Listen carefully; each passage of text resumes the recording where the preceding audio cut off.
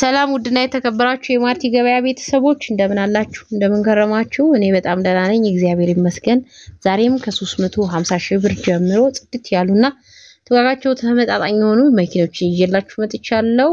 ከእናንተ የሚጠበቀው like፣ subscribe፣ share እያደረጋችሁ ቻናሉን ማሳደግ ነው። እንዲሁም ደግሞ በ comment መስጫው ላይ ሀሳብ አስተያየታችሁን መስጠት አትርሱ። አብራችሁኝ ቆዩ።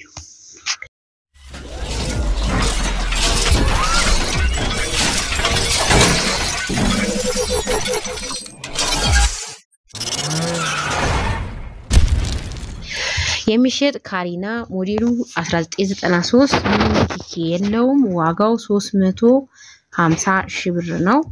የሚሸጥ ቱዌልቲ ሞዴሉ 2001 ጽድት ያለ ነው መኪናው። ዋጋው 1 ሚሊዮን 550 ሺህ ብር ነው። የሚሸጥ ስሪኤል ሞዴሉ 1997 ለክፍለ ሀገር መውጫ የሚሆን ነው።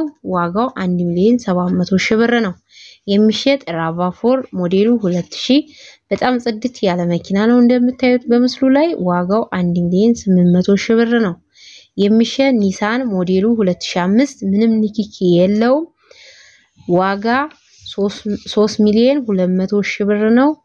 የሚሸጥ ሃይዙዚ ቅጥቅጥ ሞዴሉ 2016 ምንም ንኪኪ የለውም። ዋጋው 2 ሚሊዮን 500 ሺህ ብር ነው። የሚሸጥ ሱዙኪ ሞዴሉ ሱዙኪ ኤቭሪ ማለት ነው። ሞዴሉ 2012 ምንም አይፈልግም። ዋጋው 1 ሚሊዮን 200 ሺህ ብር ነው። የሚሸጥ hatchback ሞዴሉ 1995 ምንም ንኪኪ የለውም። ዋጋው 750 ሺህ ብር ነው። ውስን ድርድር አለው። አይሱዙ ትሮፐር ሞዴሉ 2002 ምንም አይፈልግም። ዋጋ 1 ሚሊዮን 800 ሺህ ብር ነው። ውስን ድርድር የሚሸጥ ቶዮታ two H injection ነው። ሞዴሉ 1997 ምንም ንኪኪ የለውም። ዋጋው 1 ሚሊዮን 400 ሺህ ብር ነው። የሚሸጥ two L pickup ሞዴሉ 1997 ምንም ንኪኪ የለውም። ዋጋው 1 ሚሊዮን 100 ሺህ ብር ነው። ውስን ድርድር ቤተሰቦች ለዛሬ ይዤ የመጣሁት ይህን ይመስላል። ለተለመደው ከመጀመሪያም ላይ እንደምለው ማርቲ ገበያን subscribe፣ like፣ share እያደረጋችሁ ለሌላው እንዲደርስ አድርጉ። እንዲሁም ደግሞ ሀሳብ አስተያየት ካላችሁ በ comment መስጫው ላይ ይሄ ይቅረብልን የምትሉት ካላችሁ አቅርባለሁኝ። ለዛሬ ይዤ የመጣሁት ይህን ይመስላል። ሰላም ሁኑልኝ።